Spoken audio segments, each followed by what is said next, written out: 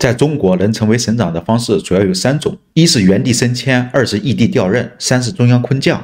原地升迁的意思就是本省的一些重要的官员，比省长地位低一些的那些官员升到了省长的那个位置，这种情况是最多的。在现任的中国大陆管辖的三十一个省长中，有十四位是这种情况，原地升迁的概率接近了百分之五十。可以看一下我的贴图，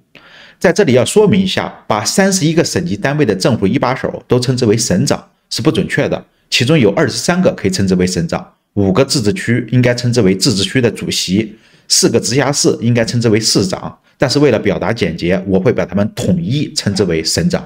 顺便提一嘴，中国的官员实行的是逐级晋升制，所以要想当省长，原则上最低级别的官员应该是副部级。在实际的操作中，一般是拥有副部级顶级实权的那些官员，或者说是实权的正部级官员。然后就是异地调任，它指的是一个省的重要官员或者省长调动到另外一个省任省长。这种情况也不少，在现任的大陆管辖的三十一个省长中，有十一位是这种情况，也可以看一下我的贴图。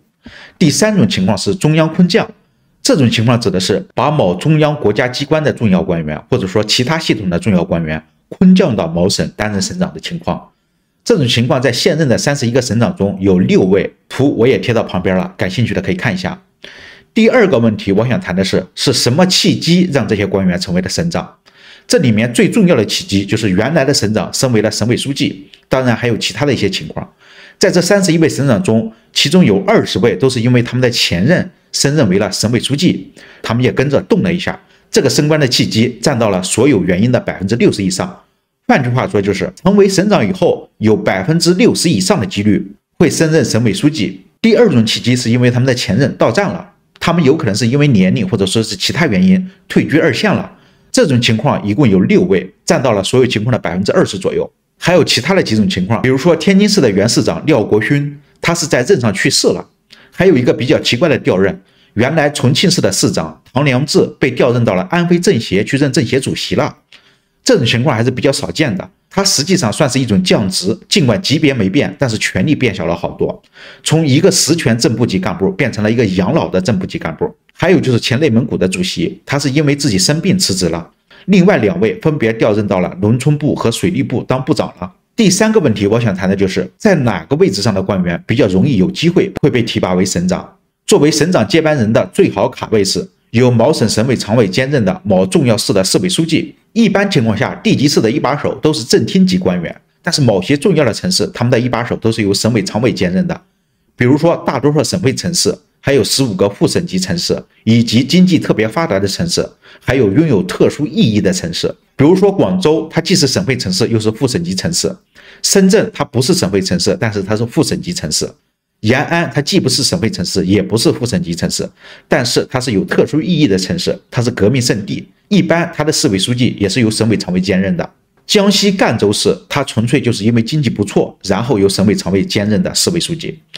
而这些特殊城市的一把手是特别容易被提拔为省长的，在现任的三十一个省长中，有八位是省委常委兼任的市委书记，直接被提拔为了省长；还有六位是省委专职副书记兼任市委书记，被直接提拔为省长的。以省委副书记兼任省会城市的市委书记，这种兼职现象是从二零一六年的十月份开始密集出现的。当然，这六位也是省委常委。从另外一个角度说，由省委常委兼任的重要市的市委书记有十四位被直接提拔为了省长。这个概率接近了百分之五十。在《人民的名义》中，荆州市的市委书记李达康想提拔为省长，搞个沙里配，这个期待还是很合理的。然后有七位是从专职副书记的任上直接被提拔为省长的。专职副书记在省委中通常排名第三，就是说是这个省第三大的官员，他们直接升为排名第二的官员也是比较合情合理的。然后还有六位是从其他的系统和其他的部门调任到某一省当省长的。还有一位是从政协主席的位置上被调任为省长的，他是广西壮族自治区，这个比较特殊，对于少数民族来讲，统战还是很重要的。还有一位稍微特别一点，他是山东省的省长，被调任到上海市当上海市市长的。尽管从级别和职务上来看是没有变动的，但实际情况是他升官了，因为很明显上海市的地位要高于山东省的。还有两位，他们是从常务副省长的位置上直接升为省长的。从升官的比例来看，常务副省长的位置。重要性在降低。第四个问题，我想谈的就是省长的籍贯、性别和民族问题。我们经常会听说山东的干部走四方，山东是孔孟之乡，山东人很爱考公，很爱进体制等等。从统计的数据来看，确实如此。在现任的三十一个省长中，山东籍有五人，是所有省份中最多的。湖北有四人，江苏和辽宁各三人，其他的各省只有两个人或者一个人，就不多说了。从民族来看，在现任的三十一个省长中，只有六位是少数民族的，除了五个自治区之外，就只有甘肃省的省长是少数民族的。从性别来看，现任的三十一个省长中，只有三位省长是女性。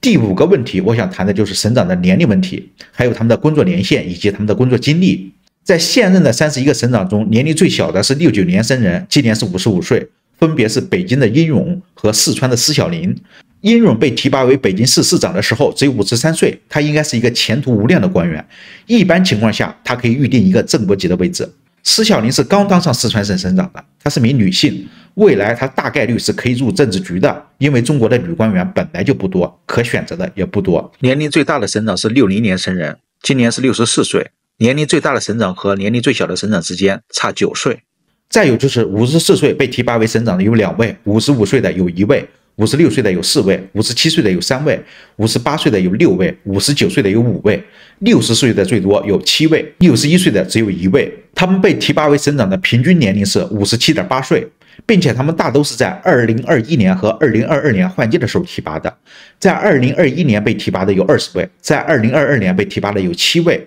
这说明对于省长的提拔和任用比以前更为有序、稳定和谨慎了。在所有的省长中，他们都是从基层干起来的，大多数都是从工厂出来的，这个也很容易理解，因为他们大都是六零后，参加工作的时候都是八几年的事儿。当时的邓小平提出改革开放，搞企业还是比较火的事情，而当时他们都是有学历的年轻人，所以一般都会从工厂干起，也有一些是从某些基层部门干起来的，但是没有一位是从农村干起来的。从这儿也能看出，以后农村在国家中的地位肯定是会被降低的。这些省长们在体制内的工作年限还是很久的，最少的是工作了二十五年，最长的是工作了四十二年才成为了省长。他们成为省长的平均工作年限是三十六年。第六个我想谈的问题就是，从这些官员的升迁经历来看，所谓的团派基本上是全军覆没了，只有五位省长有共青团的经历，但是那个经历都是他们很早期的经历。他们从共青团上来的时候，最大的级别是正处级，并且只有两位，分别是新疆的施小林和黑龙江的梁慧玲。没有像李克强、胡春华的这种直接从团中央拉出去就任省长的这种情况。团派的发展和覆灭其实是时代发展的必然。在邓小平他们那个年代，都是老人当政，年轻人他们有知识、有学历、有干劲儿，头脑还比较灵活，和那些老家伙们比，他们是有优势的。但是随着时代的发展，在各个系统中上来的年轻人都是有知识、有学历、头脑灵活的，并且他们比团派还多了一些实践经验。所以团派就没有优势了，他们通常也干不过那些有实践经验的干部了。以后所谓的团派就应该没什么机会了。最后，我想谈一下这三十一个省长的学历问题。省长们是顶级名校毕业的，不是很多。清华的只有两个人，其中有文科学历的是二十人，理科学历的是十一人，文理比为二比一。拥有博士学位的有十三人，硕士学历的有九人，本科学历的有九人，其中有六人是党校学历。总有人跟我说学历是没有用的，我想说的是，别幼稚了。如果你有学历，学历可能是没有什么用的；如果你没有学历，学历就会卡死你。比如我刚才说的有清华学历的两位省长，分别是北京市的市长和广东省的省长，可以自己去感受一下。最后设置一个问题：你认为未来仕途最好的五位省长是哪五位？